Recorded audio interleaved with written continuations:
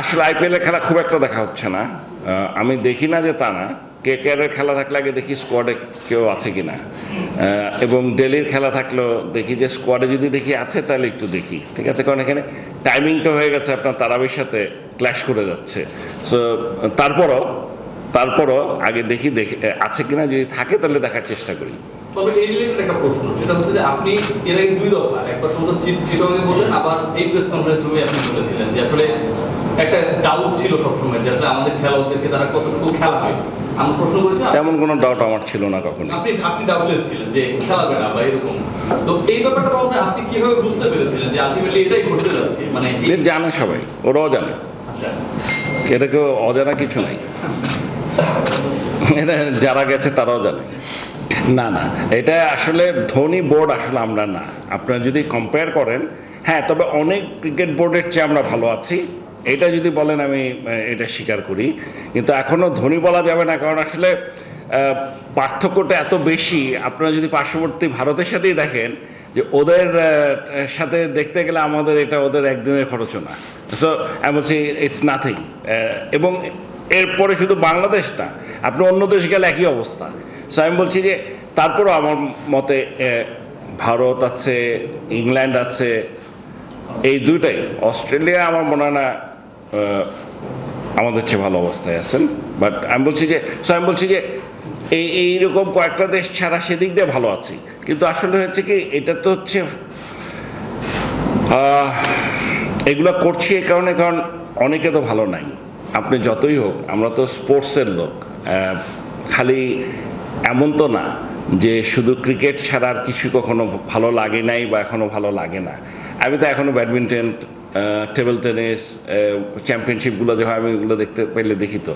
মানে আমি এখনও দেখি। সো আমি বলছি যে ফুটবল তো দেখা হয়।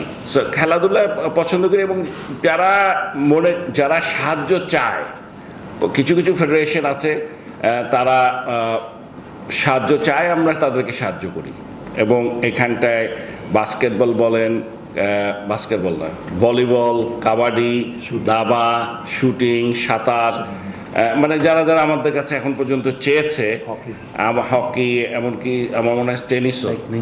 সাইক্লিং সাইক্লিং ওয়েট লিফটিং যখনই যেটা চেয়েছে আমরা চেষ্টা করি হেল্প করতে। সো যারা চেয়েছে সবাইকে আমরা চেষ্টা করেছি দিতে এবং এটা করে করতে পারে আমরা আনন্দিত। আমরা আনন্দিত এবং আমরা করে যাব। এটাই হলো সবচেয়ে বড় কথা।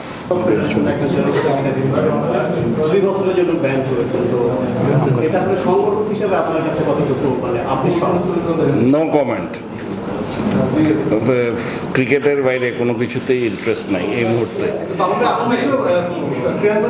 অভিভাবক বিভিন্ন সময় বিভিন্ন করে আসছেন তাদের একটা গার্ডিয়ান হিসেবে আপনি আছেন একটা। এই রোলটা আপনি প্লে করে সেই হিসেবে ক্রীড়াঙ্গনের যখন একটা বড় ফেডারেশনের দুর্নীতির দায়ে অভিযুক্ত হয় একজন বড় কর্মকর্তা এটা তো দেশের ক্রীড়াঙ্গনের জন্য নিশ্চয়ই একটা অশনি সংকেত এই বিষয়ে আপনি কি বলবেন? আমি নিশ্চিত যে ওই ফেডারেশনে যারা আছে এবং আমাদের sports ministry definitely they will এটা নিয়ে দেখছে। কাজে ইটস টু আর্লি এটা নিয়ে এখন কমেন্ট করা।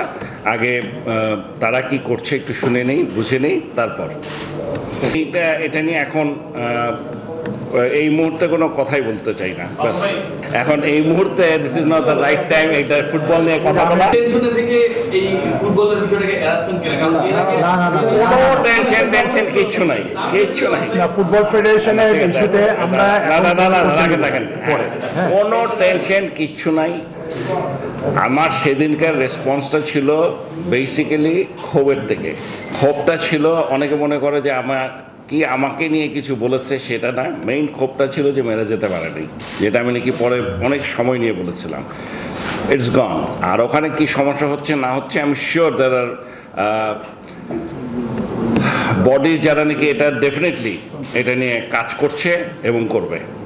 এটার মধ্যে এখন আমাদের ক্রিকেটকে, ক্রিকেট ঢুকানো, যেহেতু আমি জানি না ডিটেলস এটা নিয়ে কিছু বলতে গেলে অনেক কিছু জানতে হবে, দেখতে হবে। সেইটা সেইটার সময়ও আমার কাছে এখন নাই। কাজে এই মুহূর্তে আমি এটা নিয়ে করছি না, আগে দেখি কি হয় সব কিছু জানি তারপরে, এটা নিয়ে